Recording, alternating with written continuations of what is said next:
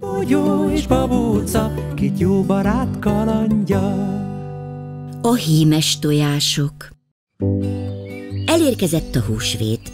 Pihe a lepkelány, Lili a rózsabogár, Ugri a szöcskelány és Szellő a szitakötő összegyűltek babóca házában, hogy húsvéti tojásokat fessenek. Hány tojást kell festenünk? kérdezte Lili. Lássuk csak, Bogyó biztosan eljön holnap locsolkodni, de jönni fog Baltazár, Vendel és Döme is, és persze Gömbi, Alfonz és Csiga Csaba. Akkor hét tojást kell festenünk. Lássunk munkához!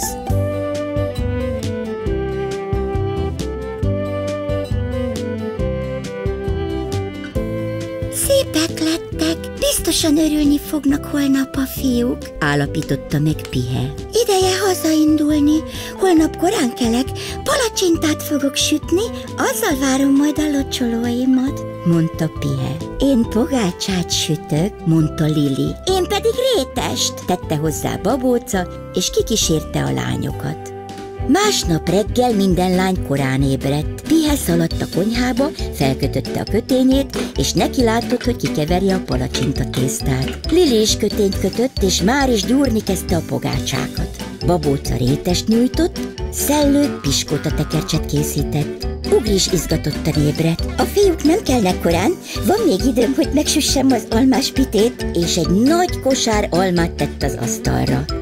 De jaj, a kosár hirtelen megbillent, az almák kigurultak és lesodorták az asztalról a hímes tojásokkal teli tálat. A sok tojás mind összetört. Jaj, a hímes tojások, most mit csináljak? Mit adok a locsolóknak? Kétségbesve szaladt babócához. Babóca, összetört az összes hímes tojásom, mind a hét, segíts! Nem érek rá, Ugri, süteményt sütök, de marad két festetlen tojásom, ezt odaadom. Fest ki gyorsan, készen leszel, mire megjönnek a fiúk. Lili, darabokra törtek a tojásaim. Tudsz segíteni? Nem tudok, sülnek a pogácsáim. Fogd ezt a három fehér tojást, még van időt kifesteni. Pihe, segíts! Újra kell festenem a tojásokat, mind összetört. Mind összetört? Sajnálom, Ugri, de most nem mehetek veled, odaégne a palacsinta. Itt van ez a két festetlen tojás, neked adom. Szellő, baj van, összetörtek a tegnap festett tojásaim. Kérlek, segíts, egyedül nem tudok hét tojást újra festeni, alig van már idő, panaszolta Ugri. Tudom már, ki segíthet, gyere utánam. Szaladtak az erdőn át egészen a barlangig. A következő pillanatban álmosan előbújt a barlangi pók. Kedves pók, segítened kell, kezdte Szellő. Ugrinak összetörtek a hímes tojásai, és most hét új tojást kell festenie. Nincs sok idő, mindjárt jönnek a fiúk locsolni, addigra készen kell lenni. Nem bánom, dünnyögte a pók. Köszönöm, nagyon kedves vagy, szipogta Ugri, és elköszönt szellőtől. Ugri ecsetet festéket vett elő, és a pókkal együtt munkához látott. A pók egyszerre három tojást is ki tudott festeni. Készen vagyunk, mondta boldogan Ugri. Megköszönte a pók segítségét, és elrendezte a tojásokat a tálon. Ebben a pillanatban már kopogtattak is az ajtón. Ugri ajtót nyitott, és a hét fiú egyszerre belekezdett a locsoló versbe. Ezt a kislányt megöntözöm, a szép tojást megköszönöm. Mind a heten meglocsolták Ugrit, a szöcskelány büszkén nyújtotta feléjük a tálat, a fiúk pedig választottak egy-egy színes tojást. Süteményem sajnos nincs, szólt halkan Ugri, és elmesélte, mi történt. Emiatt ne aggódj, nevettek a fiúk. Babócánál rétest ettünk, Lilinél pogácsát, Pihénél palacsintát, Szellőnél pedig piskótát. Egy falat sem férne már a hasunkba, mondták a fiúk, és nagyot nevettek. Bogyó és babóca, két jó barát kalandja. Az elveszett mogyoró Bogyó, siess már, szaladjunk regőhöz, köszönjünk el tőle, mielőtt téli álomra hagyja a fejét, mondta babóca a katica lány. Bogyó fejére húzta sapkáját, sálat kesztyűt vett, és a két barát elindult mókus regő odúja felé. A mókus fent üldögélt odúja előtt a faágon. El akartunk köszönni, mielőtt bebújsz az odudba télire, kiáltott babóca. Gyertek, ígyunk egy búcsúszörpöt, és rákcsáljunk hozzá egy kis mogyorót, kínálta regő a barátait. Nézzétek, mennyi finom csemegét gyűjtöttem össze télire, tele az éléskamra. De jaj, az éléskamra teljesen üres volt. Segítség! Hová tűnt a sok magyaró, dió? Hol vannak a tobozok, makkok, mazsolák? Nézzétek, azt hiszem itt gurultak ki a mogyorók, mutatott Bogyó egy kis lyukra az éléskamra sarkában. Valaki megrákcsálta a fatörzset, kiáltott babóca. Hmm, és azt is tudom, ki volt az, tette hozzá a csiga fiú. Egyet se féregő, most rögtön előkerítjük a bajkeverőket, és megkeressük az elgurult mogyorókat. És a diókat, tobozokat és makkokat, mérgelődött tovább a mókus. A két barát már indult is a nagy rétre. A rét felől hangos nevetés hallatszott. Na tessék, ők azok, naphosszat rosszalkodnak, mindig baj van velük, zsörtölődött babóca. Biztosan most is valami rosszaságon törik a fejüket, helyeselt Bogyó.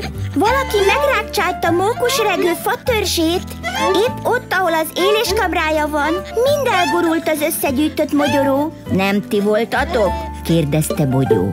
Jaj, nem akartunk rosszat, mi csak rágtunk, és nem tudtuk, hogy épp ott van az éléskamra. Magyarázkodott a legkisebb szúbogár. Tudunk valahogy segíteni? Gyertek, meg kell keresnünk az elgurult mogyorókat. Nincs sok időnk, nem sokára leesik a hó, és akkor biztosan nem találjuk meg a csemegéket. Siessünk!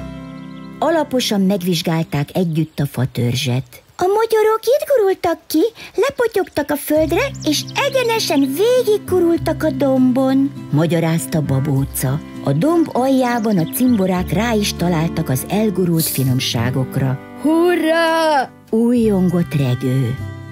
Akkor most kérlek, hozzatok vissza minden falatot az ódumba, én addig bedeszkázom a lyukat. Mondta regő a szúbogaraknak, és munkához látott.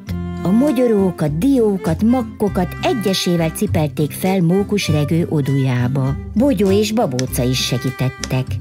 De hiába iparkodtak, vége felé közeledett a nap, és még hatalmas kupac várakozott a domb alján. Sosem végzünk, sóhajtott az egyik szúbogár. Jó volna egy kis segítség, tette hozzá a másik. Bogyó egyszer csak felpattant, és szó nélkül elszaladt. Amikor visszatért, magával hozta a trombitáját. Belefújt a trombitába, de olyan hangosan, hogy azt az erdő minden lakója hallotta. Csak hamar összegyűlt az erdő apraja és nagyja. Babóca felmászott egy nagy kőre, és elmesélte, mi történt mókusregő összegyűjtött mogyorójával. Mind elgurult, vissza kell vinnünk regő odójába. Ha mindenki segít, estig készen leszünk. Rajta! mondta Bogyó, és felvett egy szem mogyorót a kupacból. A mogyorót babócának adta, ő a szúbogaraknak, a szúbogár a méhecskének, a méhecske a szitakötőnek, és így tovább kézről kézre. Mire megjelent az égen a hold, a domb aljáról minden mogyoró, mak, dió és gesztenye visszavándorolt mókus regő éléskamrájába. Regő boldogan tette a helyére az utolsó szemgesztenyét. Köszönöm, újra teli az éléskamrám, mondta. De jó, hogy ilyen sok barátom van. Hamarosan lehullik a hó. Ideje, hogy visszavonuljak az odumba télire. Tavasszal találkozunk, mondta a mókus. Bogyó és babóca, két jó barát kalandja. Karácsony szép téli napon Bogyó, a csiga fiú és Babóca, a Katica kislány elindultak az erdőbe fenyőágat keresni. Nézd, Bogyó, ezt a kis fenyőt kidöntötte a vihar. Vigyük haza, majd karácsonykor feldíszítjük. Hurrá! Igazi karácsonyfánk lesz! Kiáltotta Bogyó, és ugrott egyet örömében. Ahogy felemelték a kis fát, megdöbbenve vették észre, hogy egy száz lábú szorult alá. Segíts, Bogyó, tegyük fel a szánkóra. Csúnyán megütötte magát, és biztosan meg is fázott ebben a hidegben. Vigyük el a házi komba. Óvatosan feltették a százlábút a szánkóra. Meg fog gyógyulni? kérdezte aggódva Bogyó. Hát persze, nyugtatta meg babóca.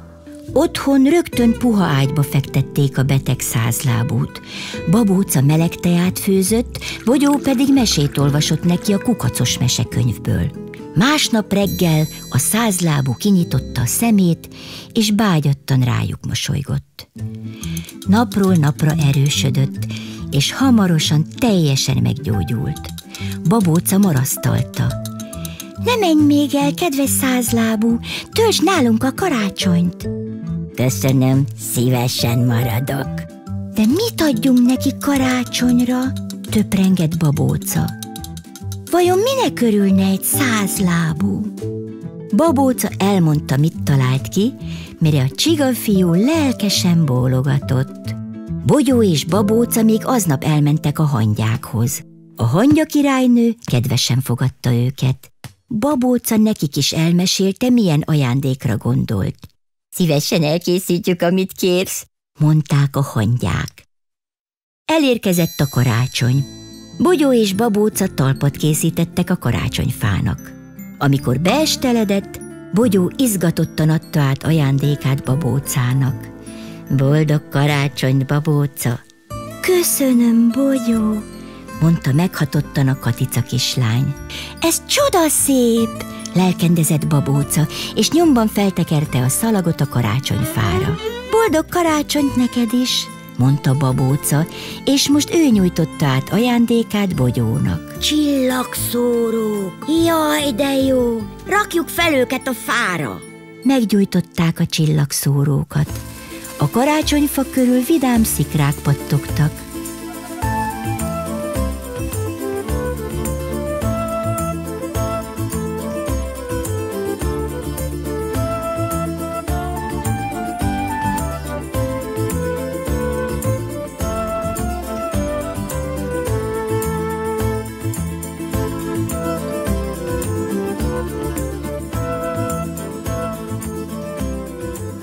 Ragyogásra előjöttek a Szent János bogarak.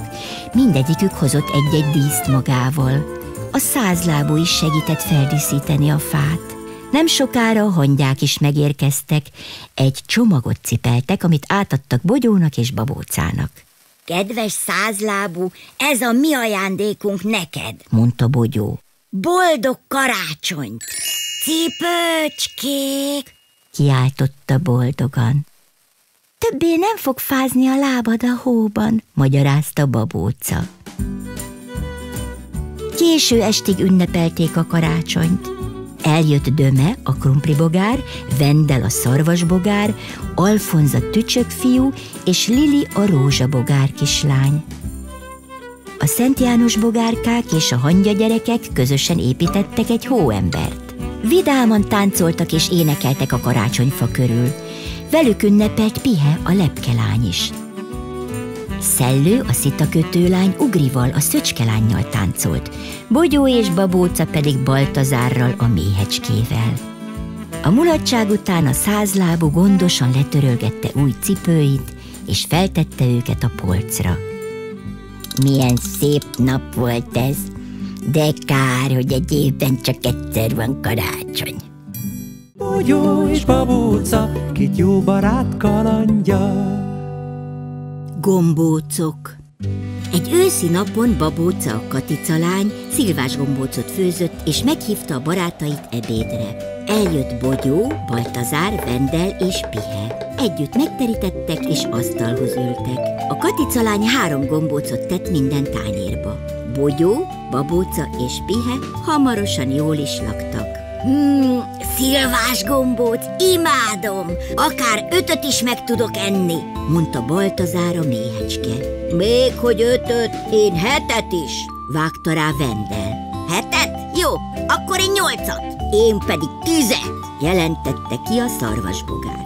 Jó, akkor versenyezzünk, zárta le a vitát Baltazár. Lássuk, melyikünk tud több gombócot enni. Babócának nem tetszett a dolog, megpróbálta őket lebeszélni, de a fiúk hajthatatlanok voltak. Ennek nem lesz jó vége, figyelmeztette őket, de Baltazár és Vendel nem hallgattak rá. Eddig három gombócot ettünk, most jöjjön a negyedik, javasolta Vendel, és újabb gombócot pakolt mindkét tányérba. Amikor mindketten végeztek, újabb gombócot vettek, és megették az ötödiket is.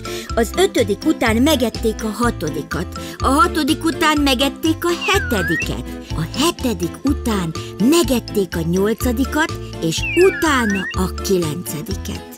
Most jön a tizedik, bírod még? kérdezte Baltazár. Ugyan, kétszer ennyit is meg tudok enni, legyintett lazán Vendel. Már nagyon sok gombócot megettek, amikor mindkettejüknek fájni kezdett a hasa. Egyre jobban és jobban fájt. Elszaladok Bakoly doktorért, mondta Pihe, a lepke kislány. Bagoly doktor megvizsgálta őket, és dühösen szónokolni kezdett. No hát, a kilátott már ilyet? Persze, hogy fáj a hasatok. Mindketten tizenöt gombócot ettek. Na tessék, ráadásul döntetlen lett a verseny. Három napig diétázni fogtok. Semmi más nem ehettek, csak főtt krumplit. De éppen holnap jön az erdőnkbe a kürtös kalács árus. Szólalt meg kétségbeesve Vendel. Nagyon sajnálom, de most kimaradtok a kürtős kalácsból. Három nap múlva gyertek el hozzám, hogy újra megvizsgáljam a hasatokat. Szólt szigorúan Bagoly doktor, és már indult is haza. Másnap meg is érkezett a nagy rétre a bodobács illatozó kürtős kalácsaival. Az erdő lakói mind boldogan csemegésztek, válogattak a sok finomság között. Én fahéjasat kérek, mondta babóca. Én kókuszosat, tülekedett bogyó. Nekem egy cukrosat adjatok, kiáltott Pihe. De volt diós, mákos, sőt, kakaós is. Baltazár és Vendel szomorúan nézték a vidám vásárt, de szót fogadtak Bagoly doktornak. Amikor letelt a három nap, a méhecske és a szarvasbogár felkereste a doktort. Na, lássuk, dünnyögött a bagoly, és alaposan megvizsgálta őket. Rendben, meggyógyultatok, látom, szót fogadtatok. Hát igen, lógatta az orrát Vendel, pedig úgy szerettem volna én is kürtös kalácsot enni. Vendel és Baltazár elbúcsúzott Bagoly doktortól, és már indultak is hazafelé, amikor a Bagoly utánuk szólt. Várjatok csak egy percet, van itt valami. Félretettem nektek két kürtős kalácsot, tessék. Na hát, Bagoly doktor, te is kimentél a rétre. Hát persze, vettem a kalácsból a fiókáimnak, ezt a kettőt pedig nektek tartogattam. Szépen betartottátok, amit kértem tőletek, ti se maradjatok ki a finomságból. Köszönjük, mondta boldogan Baltazár és Vendel, majd megölelték Bagoly doktort. Bogyó és babóca, két jó barát kalandja. Foci meccs Egy nyári reggelen Vendel a szarvasbogár hangos kopogtatásra ébredt. Ha-ho, Vendel, nyisd ki, én vagyok az Frici! A szarvasbogár álmosan kibújt az ágyból és ajtót nyitott. No hát, Frici, gyere be! Kiáltotta boldogan Vendel, és a két régi barát összeölelkezett. Nézd csak, hoztam neked valamit, mondta Frici. Egy foci labda, hurrá! De a focihoz csapatok is kellenek, figyelmeztetett Frici. Rendben, állítsunk össze csapatokat. Szóljunk mindenkinek, javasolta a szarvasbogár. Reggeli után Vendel és Frici útra keltek. Mindenkihez bekopogtattak. Végigjárták az összes házat, és mire az erdő végére értek, összegyűlt a két csapat. Bírónak Alfonszt választották. Varjunk nekik színes mellényt, javasolta Lili. Kéket az egyik csapatnak, pirosat a másiknak focisták egész héten gyakoroltak. Ezeket nektek vartuk, mondta Szellő, és vendelkezébe nyomta a piros és kék mellényeket. Köszönjük, mondták a csapattagok egyszerre, és boldogan felhúzták a mezt. Babóca és Lili padokat hozott, és a nézők elfoglalták helyüket a pálya szélén. Egyszer csak felhangzott Alfonsz sípja, és megkezdődött a mérkőzés. Ez a szaladj, bogyó! kiabált Vendel. Ide, ide nekem passzol! kiáltozott Gömbi. Hurrá, ez az! újongott a kék csapat, és összeölelkeztek. Hajrá, kékek, hajrá, pirosak! hallatszott a nézők felől a vegyes hangzavar.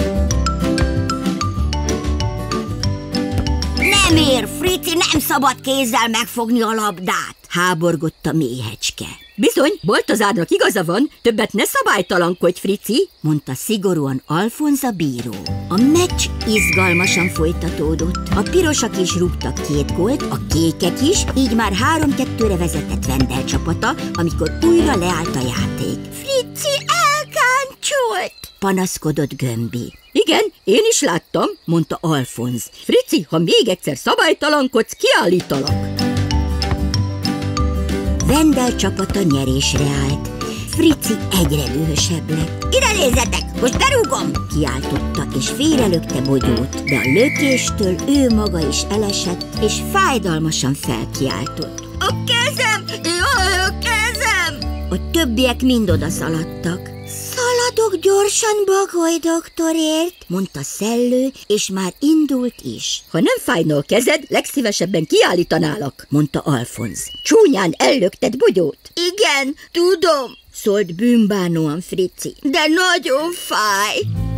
Meg is érkezett Bagoly doktor. Ez bizony eltörött, be kell gipszelnem. Négy hétig lesz rajtad a gipsz, utána leszedjük. Vigyázz rá, semmi szaladgálás! A meccs így a kék csapat győzelmével ért véget. A visszavágóra még egy kicsit várni kell, mondta Vendel, és megveregette Frici hátát. Ugyan már hamar rendbe jössz, ne lógasd az orrod. Sajnálom, hogy szabálytalankodtam, szipogott Frici. Megígérem, ha erre jön a kezem, többet nem fogok rosszalkodni, és játszhatunk egy tisztességes visszavágót. Addig is kicsit kidíszíthetnénk Frici gipszét, mosolygott babóca. Gyertek, meghívok mindenkit uzsonnára. Barátok mind beözönlöttek babóca pöttyös házába. Elővették a filctollakat, és szebbnél szebb színes rajzokkal pingálták tele a cincér gipszét. Ha majd leveszi Bagoly doktor, akkor is megtartom emlékbe, jelentette ki Frici, aztán mind asztalhoz ültek, és az utolsó falatig megettek egy óriási piskóta tekercset. Bogyó és babóca, két jó barát kalandja. Roller Egy tavaszi napon Egon, a cserebogár, neki látott, hogy barkácsoljon magának egy rollert. Egész nap fúrt, faragott, csiszolt, ki sem látszott a munkából. Amikor elkészült, lefestette feketére, és elindult, hogy megmutassa új rollerét a többieknek. A fiúk épp kosárlabdáztak a réten. Ott volt Bogyó, Vendel, Baltazár, Döme, Gömbi és Alfonz. Nézzétek, új rollerem van, én készítettem. De szép! Kipróbálhatom? Nem adom az enyém, csak mennék vele egy kört. Igen, mi is szeretnénk menni vele, csak egy kört, aztán visszaadjuk. Nem adom, mondta újra a cserebogár. Miközben Baltazár, Vendel és Egon veszekedtek, Döme megragadta a rollert, és elszáguldott vele. Állj meg, hozd vissza! Az enyém, és nem adtam neked kölcsön. Senkinek sem adom kölcsön. Döme lassított, és Egon hamarosan utolérte. Add vissza a rolleremet! Tessék, itt van, mondta Döme, és hozzátette. Amúgy sem elég gyors. Nem elég gyors? Na, ide nézzetek! Még hogy nem elég gyors, hiszen alig értek a nyomomba, mondta nevetve, de közben nem vette észre az út közepén tátongó nagy gödröt. Vigyázz, Egon! kiabált egyszerre Bogyó, Baltazár és Vendel, de már késő volt. Na ezt igazán magadnak köszönheted, Egon, okoskodott Baltazár. Egon, mi történt veled? Nagyon összeszúrtak a tüskék, és ti miért nem segítetek neki? kérdezte egy szuszra a rózsabogár. Egon a hibás! Akárhogy is történt, akkor is segítenetek kellett volna, amikor ilyen csúnyán elesett. Gyere, Egon, itt van a közelben a házam, lemosom és bekötözöm a sebeidet. Lili leültette Egont egy székre, és langyos vízzel lemosta a sebeit. Nem is olyan csúnya. Ekkor Egon halkan sírdogálni kezdett. Én vagyok a hibás, nagyon irigy voltam. Ha nem lettem volna ilyen, akkor nem történt volna baj. Akkor legközelebb ne legyél irigy. Köszönöm, hogy segítettél, mondta Egon búcsúzóul. Nem nagy ügy, hamar rendbe jössz. Egon bicegve jutott haza. Fájtak a sebei, nem tudott felszállni a rollerre. Hazaérve gyorsan ágyba bújt és elaludt. Másnap reggel új ötletet támadt. Elővette az ecseteket, a festékeit, most pedig átfestelek rózsaszínre. Na hát, Egon, ezt neked hoztam. Köszönöm, hogy segítettél. Hiszen ez csodaszép. Átfestetted? kérdezte Lili. Igen, úgy gondoltam, feketén biztosan nem tetszene neked. Nagyon örülök neki, át is megyek vele babócához. Jó utat, óvatosan menj, kiáltott Lili után Egon. Egon hazasétált, és épp leült volna ebédelni, amikor kopogtattak. Szia, Egon! kezdte Baltazár. Csak meg akartuk kérdezni, hogy jobban vagy-e. Jól vagyok, ne aggódjatok, legyintett Egon. Megígérem, hogy többet nem vezem el a rolleredet, szólt bűnbánóan Döme. Már nincs meg a rollerem, átfestettem és Lilinek ajándékoztam, mosolygott Egon. De készítek majd magamnak egy új rollert, fordult a barátaihoz Egon. Megígértem Lilinek, hogy többet nem leszek irigy. Mindenki mehet majd vele. Egy keveset. Hurrá! kiáltotta Gömbi. Most pedig gyertek, egyetek velem. Almás pitét sütöttem. Szeretitek? Egon hamarosan elkészült új rollerével. Sötét zöldre festette. Pár nap múlva a kis barátok mind összegyűltek a réten, és felváltva rótták a köröket a két rolleren.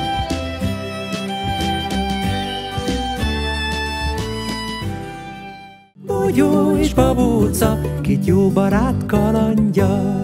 Erdei torna verseny. Bogyó, Babóca, Pihe és Baltazár a tóparton üldögéltek, és kavicsokat dobáltak a vízbe. Bogyó többször is eltalálta az úszó farönköt, a többiek pedig nagyokat tapsoltak örömükben. Gyertek gyorsan a rétre, kezdődik a tavaszi tornanap, érkezett futva a hírrel Vendel.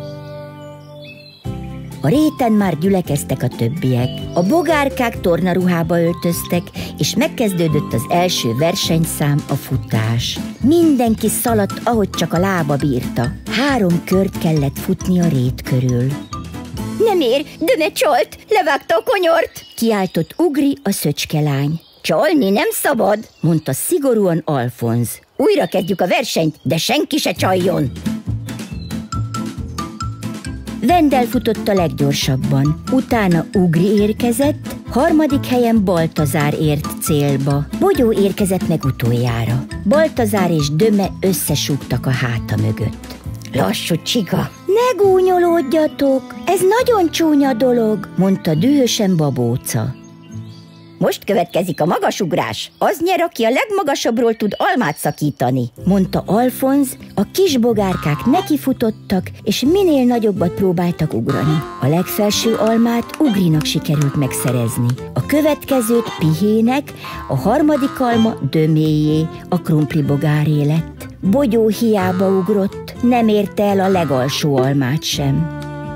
Nem sikerül, Semmi sem sikerül, mérgelődött. Ugyan, Bogyó, majd a bukfencezés jobban megy, ne buslakodj, mondta Lili, a rózsabogár. de Bogyó a bukfenc versenyen nem mert elindulni, mert féltette a csigaházát. A versenyzők rajthoz álltak, és elbukfenceztek a rét egyik végéből a másikba. Babóca volt a leggyorsabb, ő nyert.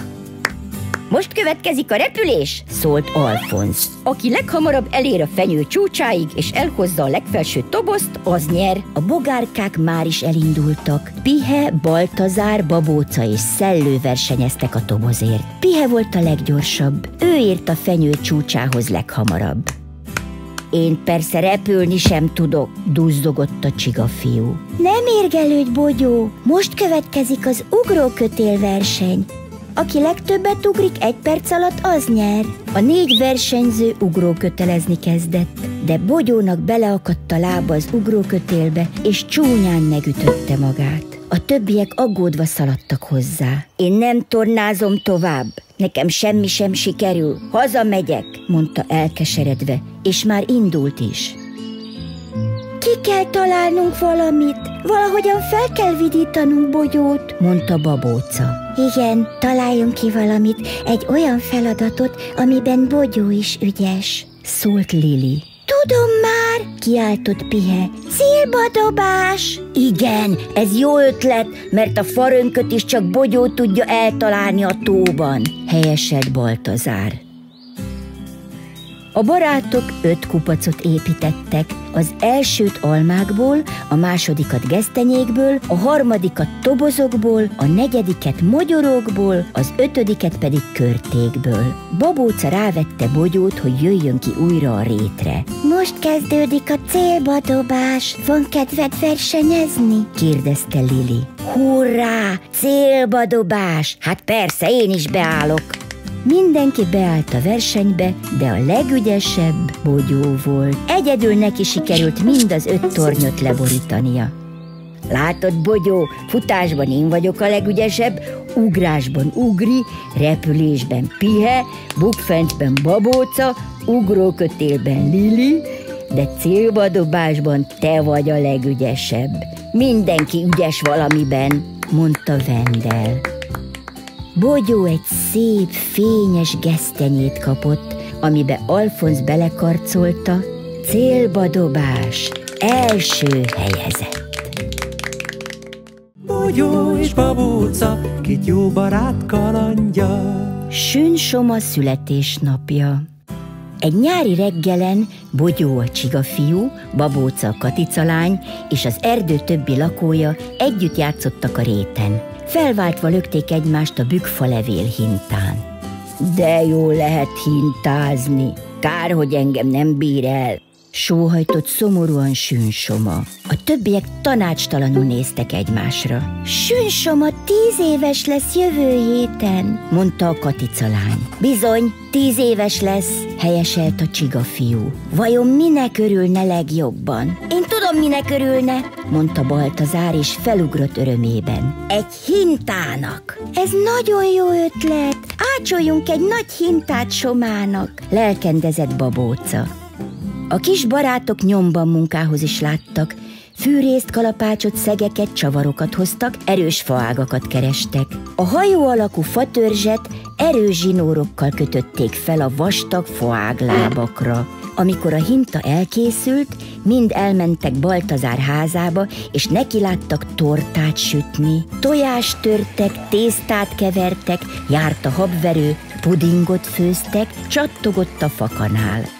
Finom illat töltötte be a méhecske házát. Feldíszítették az öt emeletet meggyel, mazsolával, dióval. Tegyük rá a gyertyákat is, mondta Pihe. Igen, tíz gyertyát, helyeselt babóca. Most pedig írjunk egy levelet Somának, mondta Bogyó, és már írta is. Kedves Soma, gyere Baltazár háza elé délre, nagyon várunk. Vidd el a süninek, kérte Bogyó. De nehogy eláruld a tortát és a hintát se, szólt utána babóca.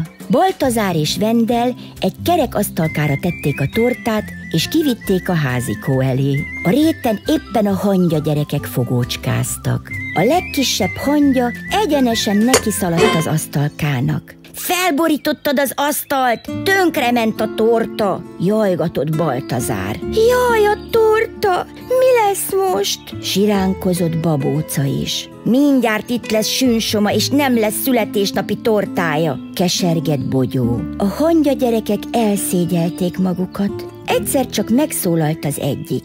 Szedjünk sok gyümölcsöt, és építsünk belőle egy nagy kupacot. Az majdnem olyan, mint egy torta, nem? Ez jó ötlet, szólt Vendel. Soma úgy is jobban szereti a gyümölcsöt, mint a tortát.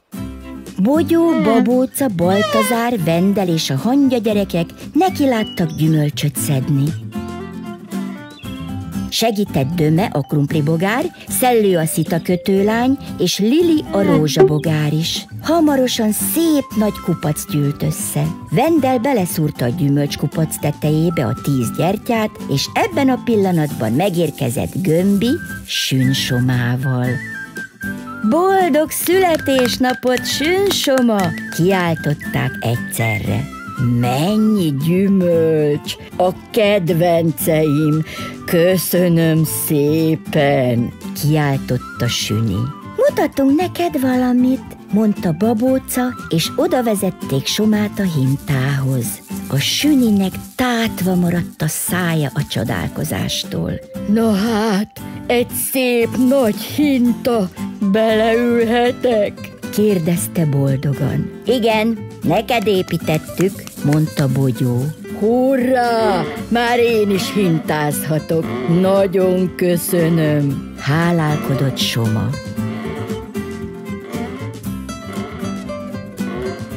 Amikor besötétedett, abba hagyták a hintázást, körbeállták a gyümölcshalmot, és nekiláttak falatozni. Addig falatoztak, míg a kupacból alig maradt valami. A megmaradt almákat és körtéket felszúrták Soma tüskéire, ő pedig hazavitte mohatetős házikójába. Boldogan hajtotta álomra a fejét, és arra gondolt, hogy holnap újra hintázni fog a barátaival.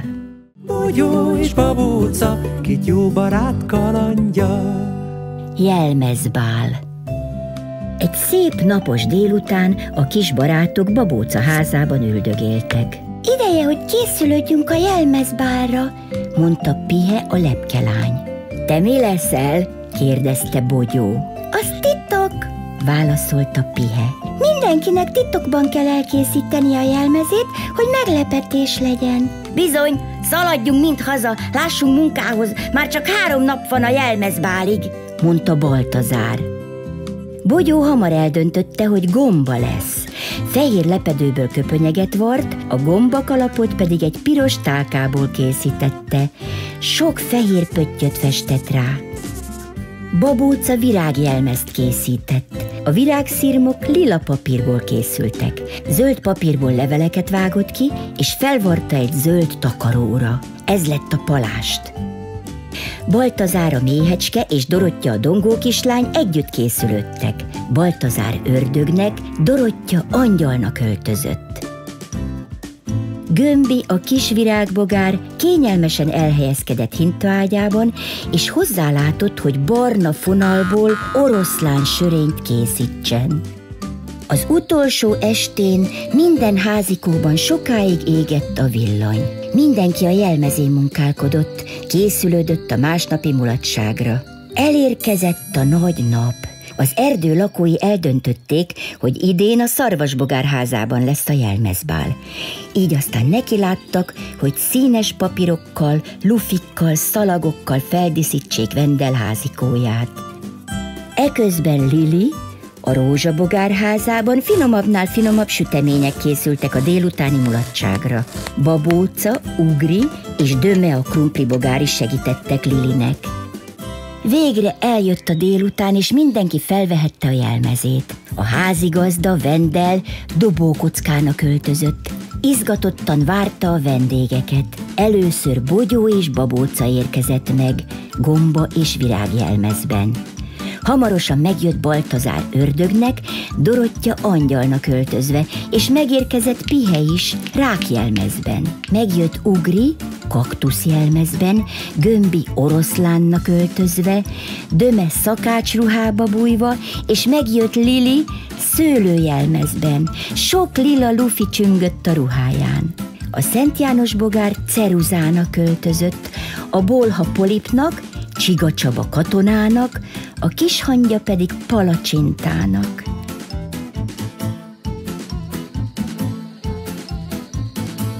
És ekkor sírva betoppant szellő a szitakötő kislány. Eltűnt, eltűnt a gyönyörű királylányruhám. Szépen kimostam, kiakasztottam a fágra, de elvitte a szél. Szellő keservesen zokogott. A többiek vigasztalni próbálták. Neked adom a katona sisakom, nekem elég lesz a kard, javasolta Csiga Csaba. Nem, az fiús, nekem csodaszép királylány jelmezem volt, de elvitte a szél. Tudom már, készítünk neked új jelmezt, szólt Ugri. Napocska jelmezt! Ez már nagyon tetszett szellőnek. A sárga függöny éppen jó lesz Palásnak, kiáltott babóca. A napsugarakat pedig elkészítjük ezekből a sárga papírcsíkokból, mondta Vendel, és leakasztotta a szalagon csüngő papírdíszeket. Ragasztottak, vágtak, vartak, alkottak mind, és hamarosan elkészült a gyönyörű napocska jelmez. Én pedig neked adom ma estére a kis lámpásomat. Egy ceruzának úgy sincs szüksége lámpásra, mondta nevetve a Szent János bogár. Köszönöm, mondta Szellő, és olyan boldog volt, hogy egészen elpirult örömében. Az erdő kislakói énekeltek, táncoltak, és mind egyetértettek abban, hogy Szellőnek volt a legkülönlegesebb jelmeze. Mert az a napocska, ami este is világít, igazán különleges.